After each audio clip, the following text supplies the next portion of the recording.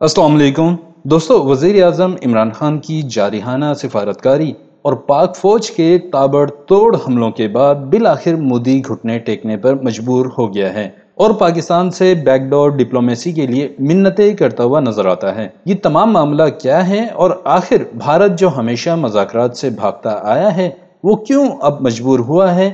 اس پر مزید شیئر کرنے سے پہلے پاکستان افیئرز کو سبسکرائب کریں اور بیل آئیکن ضرور پریس کیجیے گا۔ تو دوستو، بھارت جو ہمیشہ پاکستان سے مذاکرات کرنے کا انکاری رہا ہے، بلکہ یہاں تک کہ پاکستان سے طے شدہ مذاکرات بھی مختلف بہانے بنا کر منسوخ کرتا آیا ہے، جو میں آپ سے ماضی میں شیئر کرتا رہا ہوں۔ اب بھارت کی جانب سے پاکستان سے بیک ڈور ڈپلومیسی کے لیے بھیک مانگی جا رہی ہے۔ بیک ڈور ڈپلومیسی کا پیغام بھارت کی جانب سے عالمی طاقتوں اور کچھ مسلم ممالک کو استعمال کرتے ہوئے دیا جا رہا ہے۔ اس حوالے سے آپ کو مزید بتا دوں کہ بھارت کی جانب سے بیک ڈور ڈپلومیسی کے ساتھ ساتھ اس بات کی بھی درخواست کی گئی ہے کہ وزیر اعظم پاکستان عمران خان مودی کے لیے اپنے لب و لہجے میں نرمی لائیں اور مودی پر زبانی حملے نہ کریں جن میں وہ مودی کو ہٹلر سے تشبیح دیتے ہیں۔ لیکن پاکستان کی جانب سے واضح طور پر بھارت کی اس درخواست کو مسترد کر دیا گیا ہے اور بتا دیا گیا ہے کہ پاکستان بھارت سے صرف روایتی مذاکرات ہی کرے گا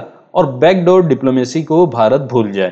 اور اس کے ساتھ یہ بھی بتا دیا گیا ہے کہ جب تک کشمیر پر بھارت اپنے غیر قانونی اقدام کو واپس نہیں لیتا، تب تک بھارت سے کسی قسم کے مذاکرات نہیں ہو سکتے۔ اس حوالے سے آپ کو یاد ہوگا کہ تین ستمبر کو سعودی اور امارتی وزیر خارجہ کی جانب سے پاکستان کا دورہ کیا گیا تھا۔ اور اس دورے کے دوران ان دونوں ممالک کے وزرائے خارجہ نے پاک فوج کے سربراہ جنرل کمر جاوید باجوہ وزیر اعظم پاکستان عمران خان اور پاکستانی وزیر خارجہ شاہ محمود قریشی سے الگ الگ ملاقاتیں کی تھیں اور ان ملاقاتوں میں اپنے ممالک کے سربراہان کا پیغام پہنچایا گیا تھا کہ سعودی عرب اور متحدہ عرب امارات پاک بھارت کشیدگی کو ختم کرنے میں کردار ادا کرنے کو تیار ہیں۔ لیکن پاکستان کی جانب سے انہیں بھی اپنی ریڈ لائنز کے بارے میں بتا دیا گیا تھا کہ پاکستان بھارت سے کسی قسم کے بیک ڈور ڈپلومیسی نہیں کرے گا۔ یہاں پر آپ کو یہ بتانا ضروری ہے کہ پانچ اگست دو ہزار انیس، جب سے بھارت نے مقبوضہ کشمیر کی امتیازی حیثیت ختم کی ہے، تب سے وزیر اعظم پاکستان عمران خان کی جانب سے مودی کو فاشسٹ، ریسسٹ اور نسل پرست کہا جا رہا ہے۔ اور سب سے بڑھ کر مودی کا موازنہ ہٹلر سے کیا جا رہا ہے، جس سے بھارت کو سفارتی سطح پر نہ صرف کافی نقصان ہو رہا ہے، بلکہ جب سے عمران خان نے مودی کا موازنہ ہٹلر سے کرنا شروع کیا ہے تب سے بین الاقوامی پریس میں بھی مودی پر کھل کر تنقید کی جا رہی ہے۔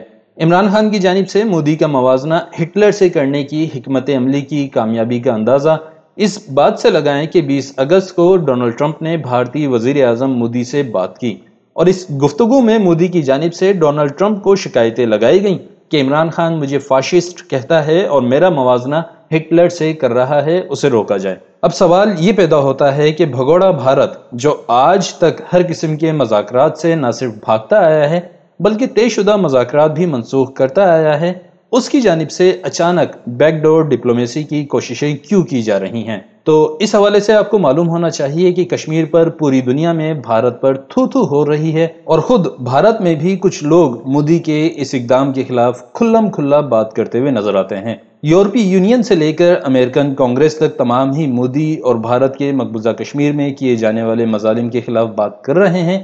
جس سے سفارتی سطح پر بھارت کو کافی نقصان ہو رہا ہے۔ اور یہ سب عمران خان کی مودی اور بھارت کے خلاف جارحانہ بیانات دینے اور مودی کا موازنہ ہٹلر سے کرنے سے ممکن ہوا ہے۔ کیونکہ مغربی دنیا کو مودی کی سفاکیت کا اس وقت اندازہ ہوا جب اس کا موازنہ ہٹلر سے کیا گیا۔ اس کے علاوہ دوسری وجہ یہ ہے کہ اقوام متحدہ جنرل اسمبلی کا اجلاس چھبیس ستمبر کو نیو یارک میں ہونا ہے۔